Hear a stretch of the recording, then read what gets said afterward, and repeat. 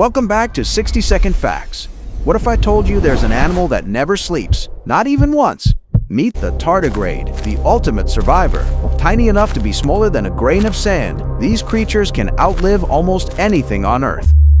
They've been frozen solid, boiled alive, even blasted by space radiation, and still come back to life. Here's the mind-blowing part. Tardigrades don't sleep.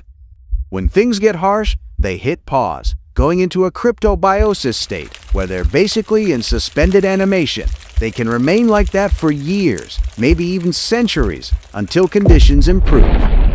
Some scientists believe understanding their resilience could unlock secrets to long-term human space travel, or even surviving death. But here's the real question. What if the tardigrade already has? Think about it.